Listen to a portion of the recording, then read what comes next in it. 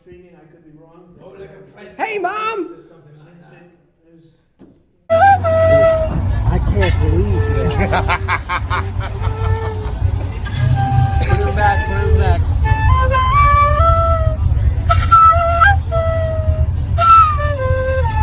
It's not. It's, so it's the amateurs like like flute like.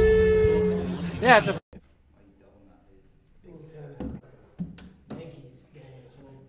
Have you never worn high tops? High tops.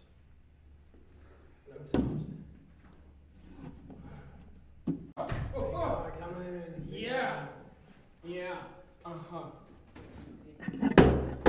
Sorry, folks. Uh, traffic was a bitch. Um, the uh,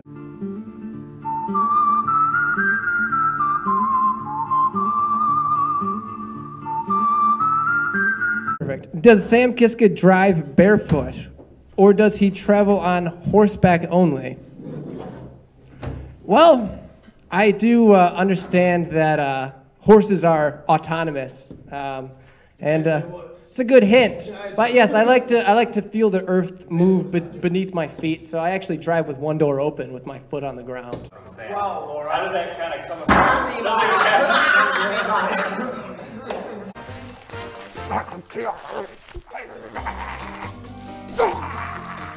I'm a plant-powered beast!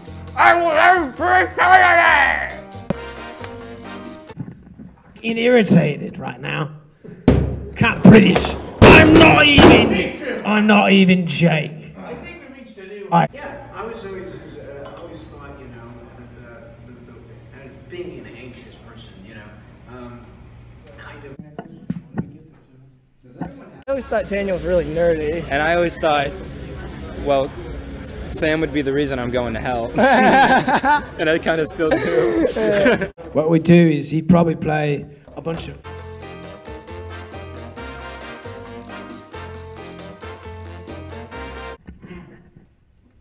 Oh, about what? The, uh, I mean, well, uh, there's a, there's a, yeah, well, I think the,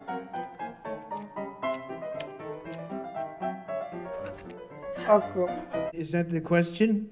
No. Oh, you have the question. oh, I do. Oh, well, that would be a good question, I think. You're gonna smack me in the, I'm gonna have a bloody nose by the time you're done swinging that thing around. Well, I am not a crook!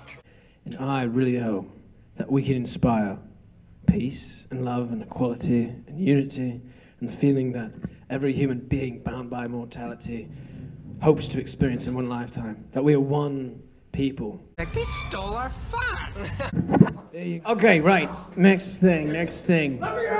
Yeah, you can. Slytherin! Oh my god, I'm a Slytherin!